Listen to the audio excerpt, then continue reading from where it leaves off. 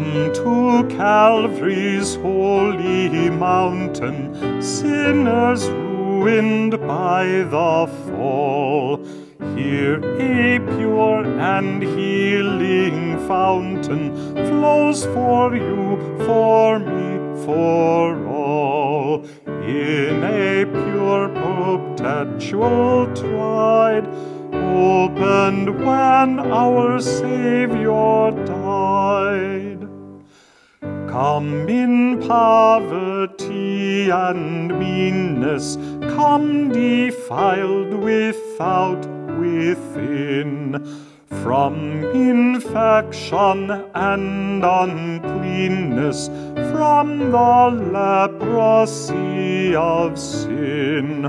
Wash your robes and make them white.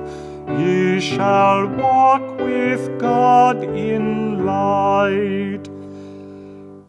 Come in sorrow and contrition, wounded, paralyzed, and blind. Hear the guilty free remission, here the troubled peace may find. Health this fountain will restore, they that drink shall thirst no more. They that drink shall live forever, tis a soul flood. God is faithful, God will never break his covenant of blood, signed when our Redeemer died, sealed when he was glorified.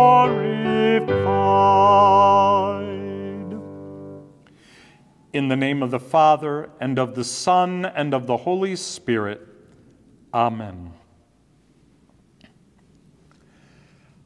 Let us pray that as Jesus manifested his love in service to all, we too might serve our neighbors in their time of need.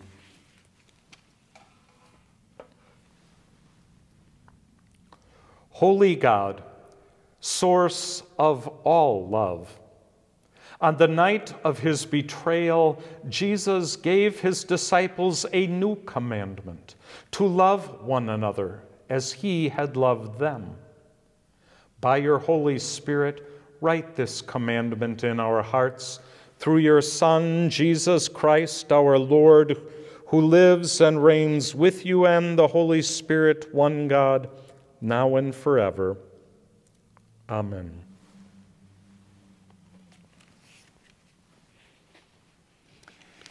A reading from Exodus, the 12th chapter.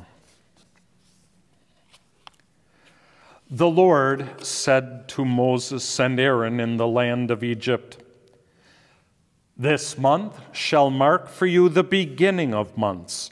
It shall be the first month of the year to you. Tell the whole congregation of Israel that on the tenth of this month they are to take a lamb for each family, a lamb for each household. If a household is too small for a whole lamb, it shall join its closest neighbor in obtaining one. The lamb shall be divided in proportion to the number of people who eat of it. Your lamb shall be without blemish, a year old male. You may take it from the sheep or from the goats. You shall keep it until the fourteenth day of this month. Then the whole assembled congregation of Israel shall slaughter it at twilight. They shall take some of the blood and put it on the two doorposts and the lintel of the houses in which they eat it. They shall eat the lamb that same night. They shall eat it roasted over the fire with unleavened bread and bitter herbs. Do not eat any of it raw or boiled in water, but roast it over the fire with its head, legs, and inner organs. You shall let none of it remain until the morning. Anything that remains until the morning you shall burn. This is how you shall eat it your loins girded, your sandals on your feet, your staff in your hand, and you shall eat it hurriedly. It is the Passover of the Lord. For I will pass through the land of Egypt that night, and I will strike down every firstborn in the land of Egypt, both of human beings and animals. On all the gods of Egypt I will execute judgment. I am the Lord. The blood shall be a sign for you on the houses where you live. When I see the blood, I will pass over you, and no plague shall destroy you when I strike the land of Egypt. This day shall be a day of remembrance for you. You shall celebrate it as a festival to the Lord. Throughout your generations, you shall observe it as a perpetual ordinance. The word of the Lord, thanks be to God.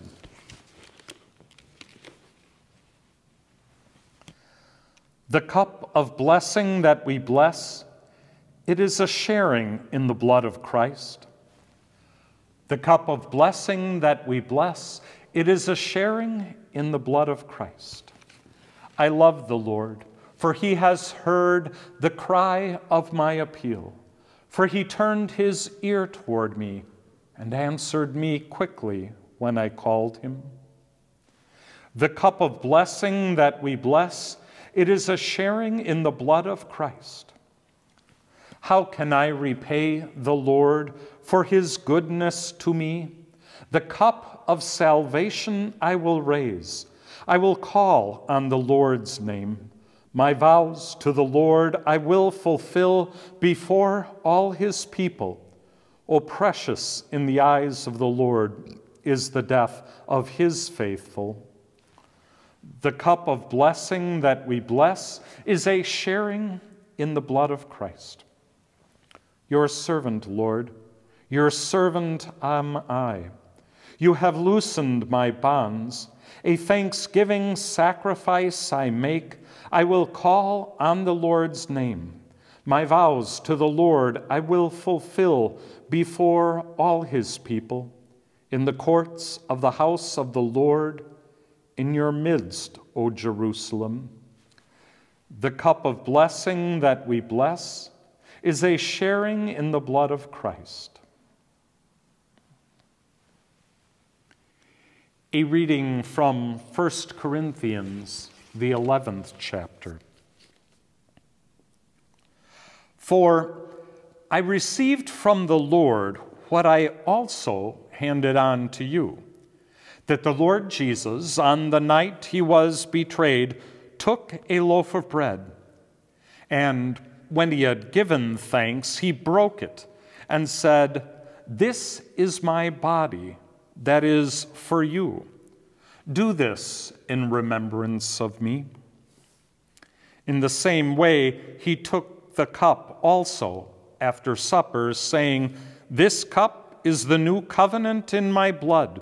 Do this as often as you drink it in remembrance of me. For as often as you eat this bread and drink this cup, you proclaim the Lord's death until he comes. This is the word of the Lord. Thanks be to God.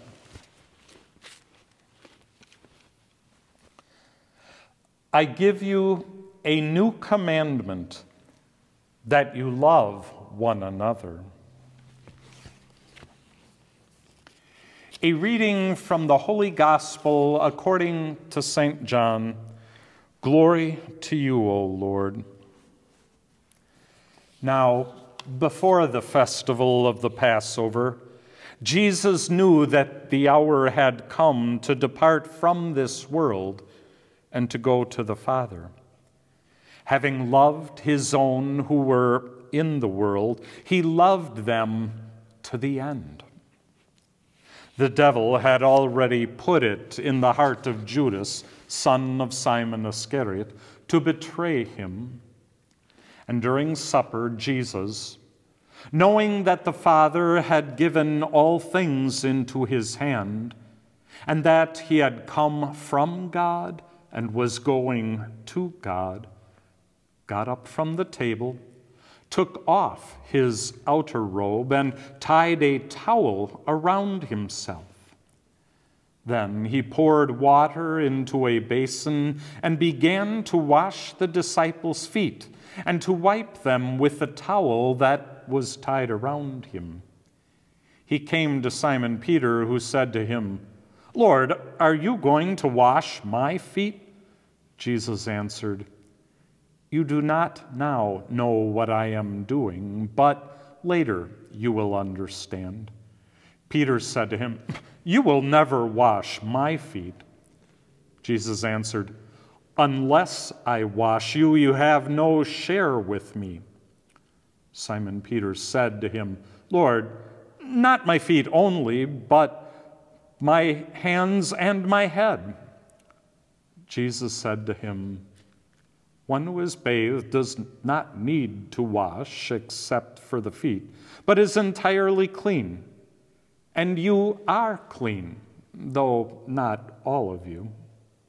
For he knew who was to betray him. For this reason, he said, Not all of you are clean.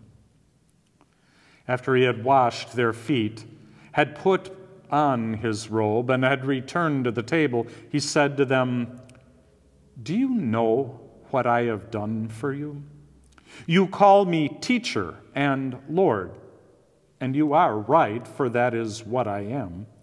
So if I, your Lord and teacher, have washed your feet, you also ought to wash one another's feet.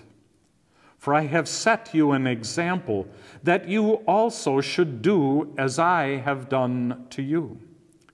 Very truly, I tell you, Servants are not greater than their master, nor are messengers greater than the one who sent them.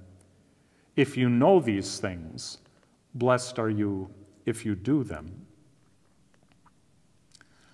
Now the Son of Man has been glorified, and God has been glorified in him. If God has been glorified in him, God will also glorify him in himself and will glorify him at once. Little children, I am with you only a little longer. You will look for me, and as I said to the Jews, so now I say to you, where I am going, you cannot come. I give you a new commandment that you love one another. Just as I have loved you, you also should love one another. By this, everyone will know that you are my disciples if you have love for one another. This is the gospel of the Lord. Praise to you, O Christ.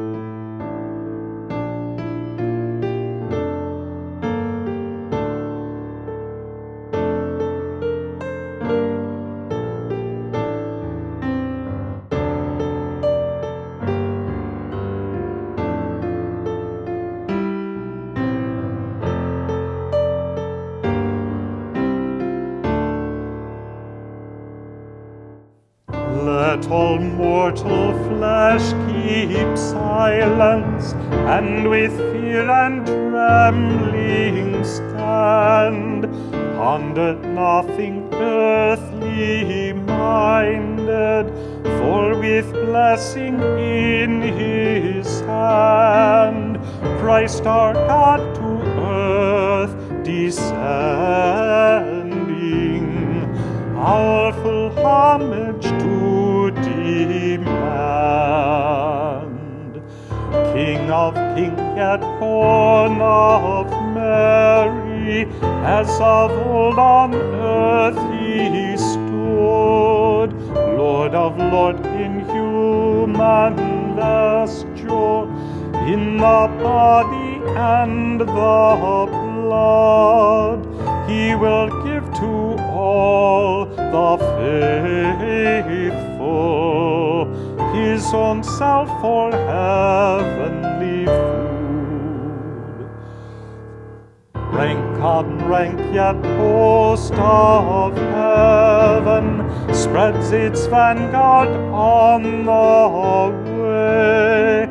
As the light of light descended from the realms of endless day comes the powers of hell to vanquish as the darkness clears away.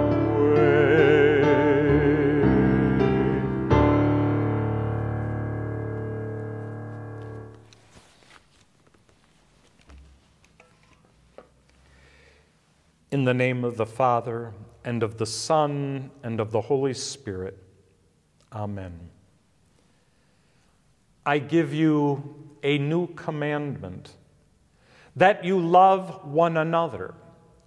Just as I have loved you, you also should love one another. By this, everyone will know that you are my disciples if you love one another.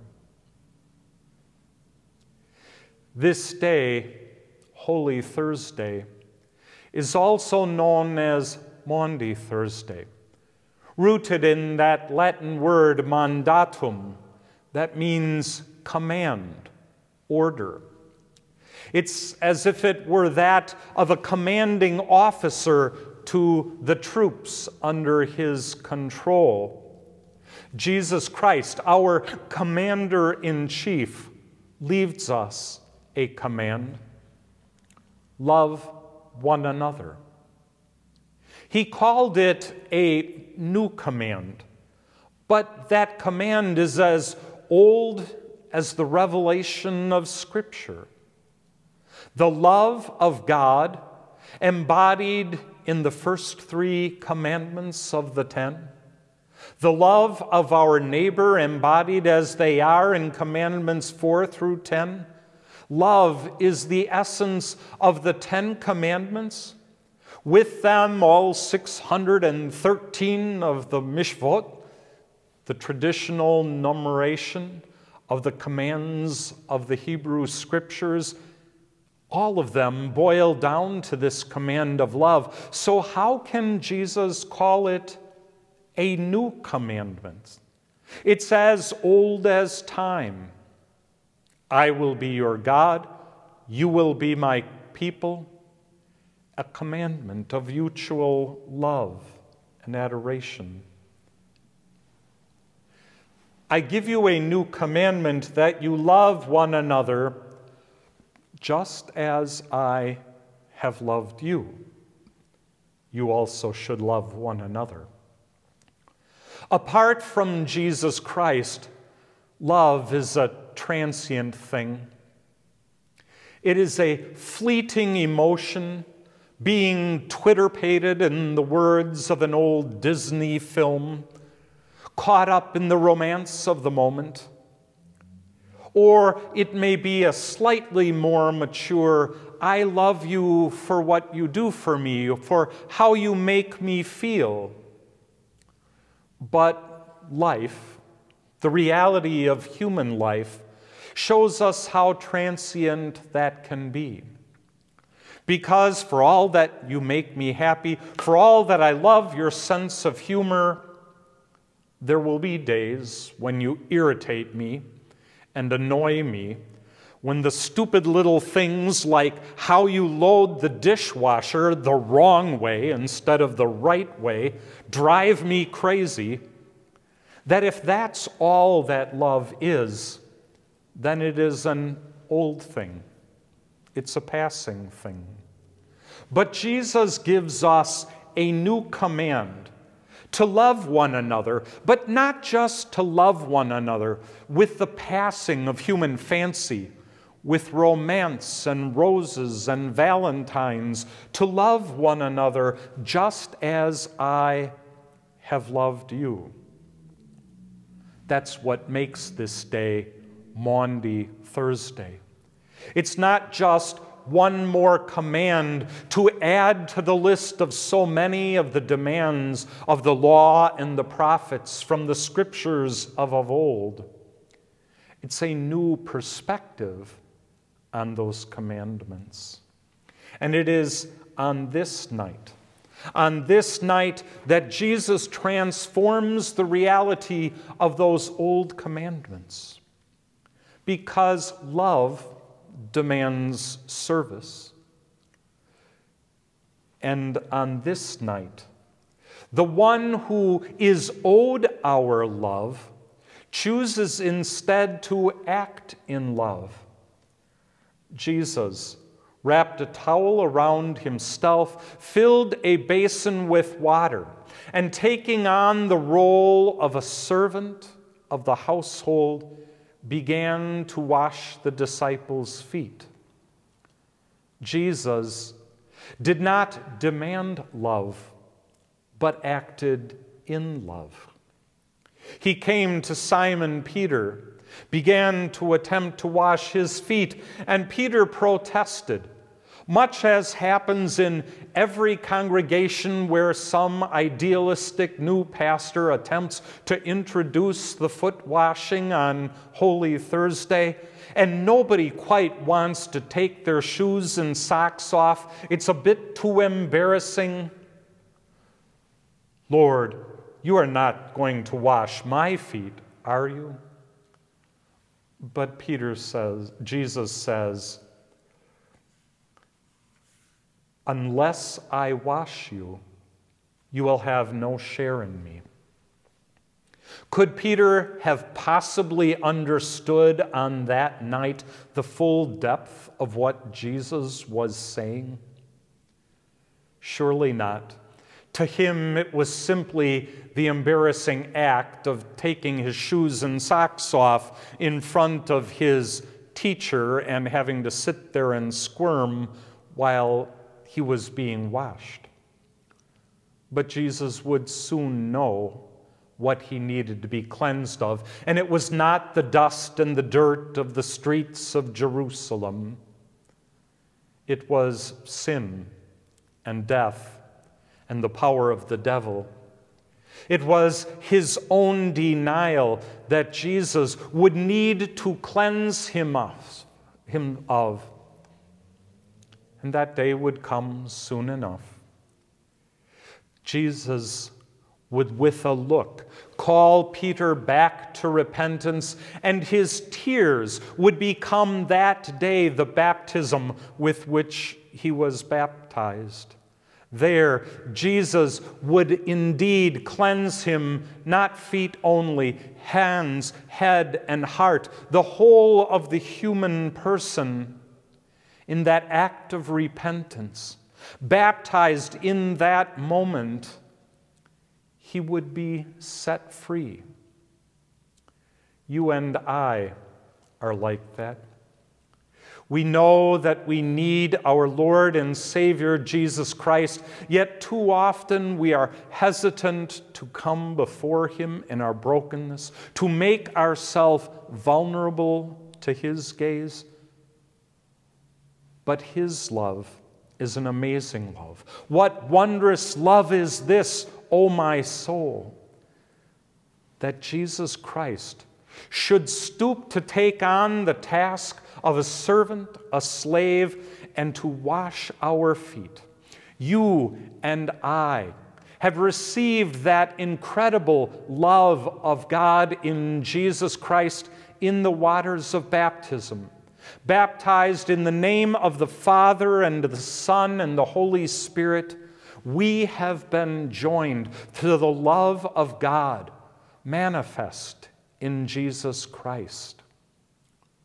It is a love that would be further manifest later in this week in the garden at his betrayal, before the Sanhedrin in their trial Before Pontius Pilate, who questions what is truth, even as truth itself stood in front of him, the one who would climb the cross not as a passive victim of injustice, political or social, but as the high priest, offering the sacrifice by which we are made whole. It is in the shedding of his blood, sprinkled not only before the Ark of the Covenant as in the days of old, but on the people also in the days of old, binding together that which is offered to God and that which is given as gift to the people. It would be the blood of Jesus Christ that would be love not spoken, not felt as an emotion, but enacted, incarnate, if you will, in the body and the blood of the one who is incarnate, of the Virgin Mary, who for us and for our salvation was made man. It is the body and blood of Jesus, which is love in solid form God is love, St. John would tell us later in his epistles, and that love came into this world not as a feeling, not as a sentiment, or even as a command, but as a gift in the body and the blood of Jesus Christ. And so, having given his disciples this new command to love one another, Jesus demonstrates what that love is. For on the night in which he was betrayed, our Lord Jesus took bread, gave thanks, broke it, gave it to his disciples, and said, Take and eat. This is my body. In the same way, after supper, he took the cup. Again, he gave you thanks and gave it to his disciples and said, This is my cup of the new covenant, shed for you and for all people for the forgiveness of sin. Do this in remembrance of me. That is our new command.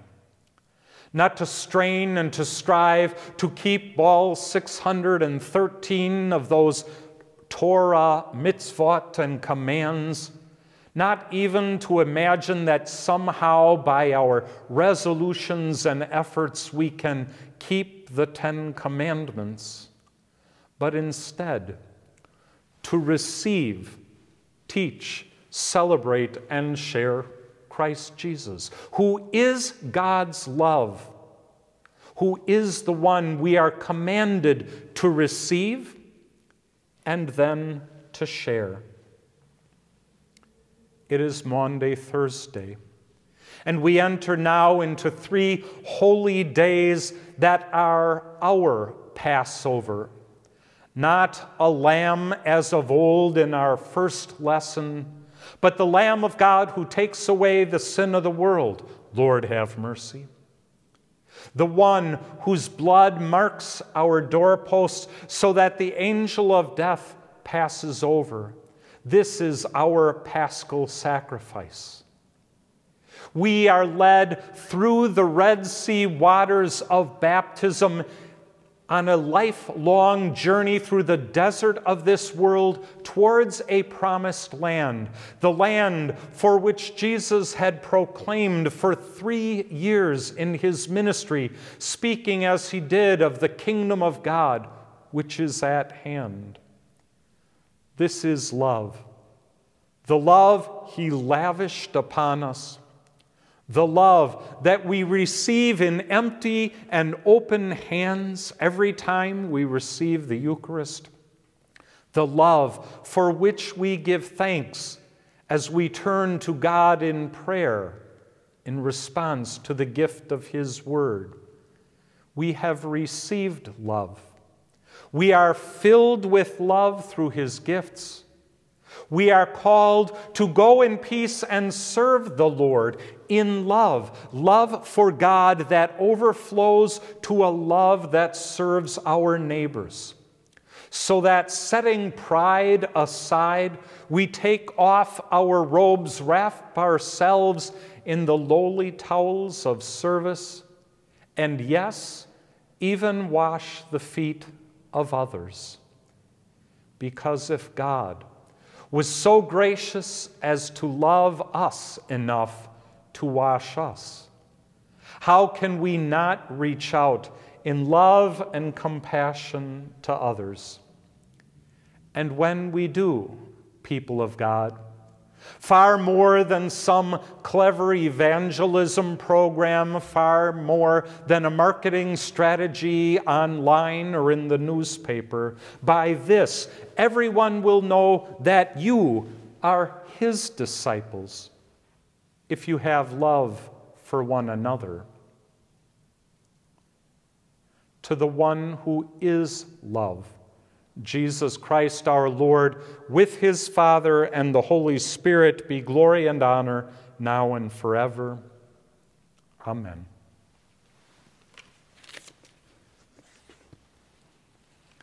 Living together in love and in hope, we confess our faith.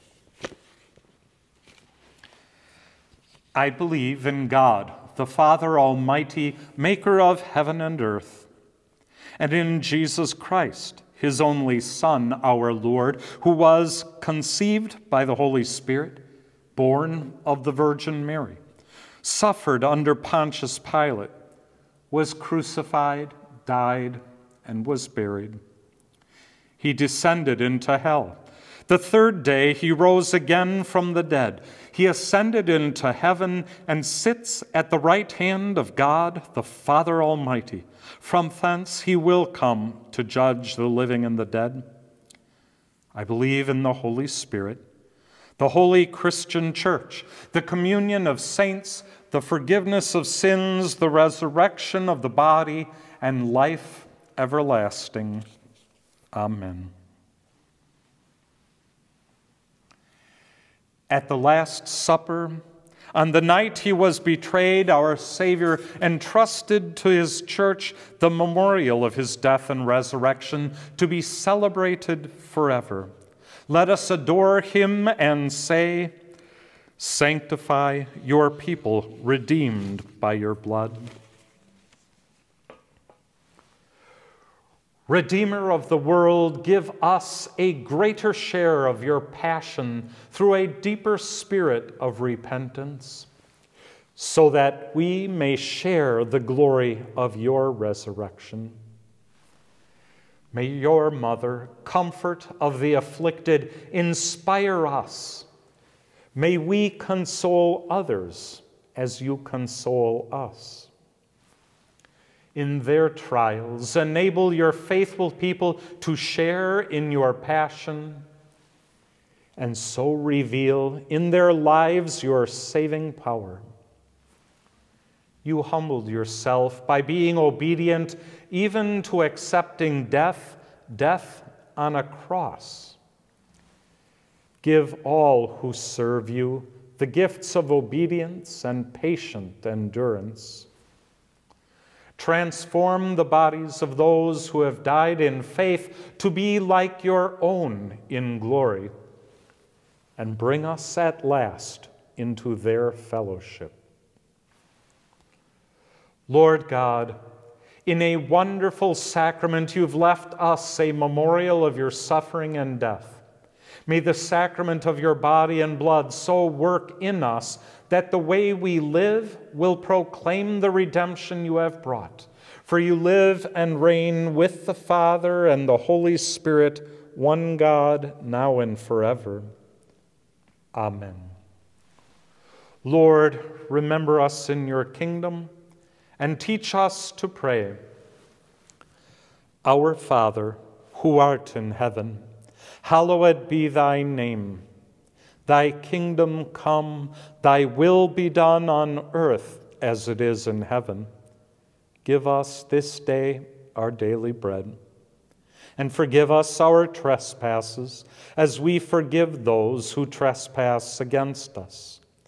And lead us not into temptation, but deliver us from evil. For thine is the kingdom, and the power, and the glory, forever and ever. Amen. Almighty God, the word that your Son brought us sustains our life on earth. Grant that our longing for it may be fully satisfied in the kingdom of heaven. We ask this through Jesus Christ our Lord. Amen. May Almighty God bless us, the Father, the Son, and the Holy Spirit. Amen. Go in peace to love and serve the Lord. Thanks be to God.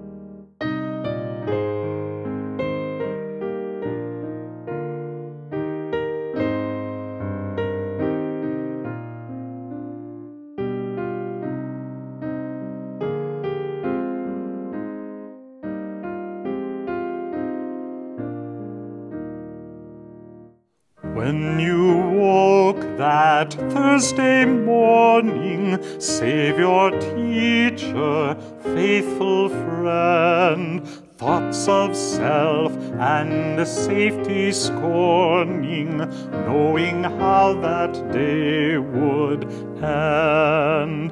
Lamb of God, foretold for ages, now at last the hour has come, when but one could pay sin's wages, you assumed that dreadful psalm. Never so alone and lonely, longing with tormented heart to be with your dear and only for a quiet hour apart. Sinless lamb and fallen creature, one last paschal meal to one last lesson as their teacher, washing your disciples' feet. What was there that you could give them that would never be outspent? What great gift that would outlive them? What last will and testament. Show me and the world you love me, know me as the Lamb of God. Do this in remembrance of me. Eat this body, drink this blood. One in faith, in love united, one all body, you the head. When we meet, by you invited, you are with us as you said. One with you and one another in a unity sublime. See in us your sister brother, one in every place and time. One day all the church will capture that bright vision glorious and your saints will know the rapture that your heart desired for us. When the longed for peace and union of the greatest and the least meet in joyous, blessed communion in your never ending feast.